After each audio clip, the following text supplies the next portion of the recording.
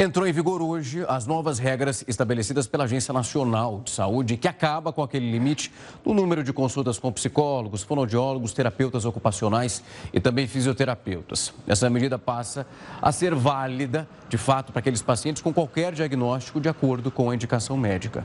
A medida ela vai afetar os usuários de planos de saúde com qualquer doença ou com uma condição de saúde que é listada pela Organização Mundial de Saúde. Antes dessa mudança, cada especialidade tinha sua regra específica e acabava delimitando o número de consultas e sessões que o paciente tinha direito. Análises profundas sobre política e economia, interatividade com o telespectador, informações essenciais com agilidade e dinamismo. Essa edição do Ara News está começando. Diferentes pontos de vista. Vamos olhar agora para um outro ponto.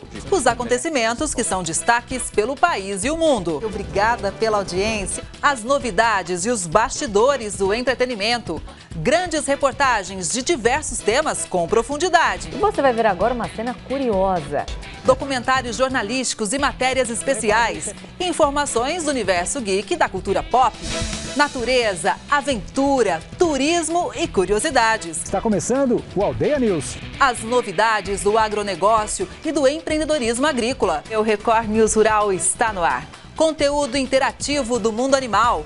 Record News, informação relevante e de qualidade 24 horas por dia.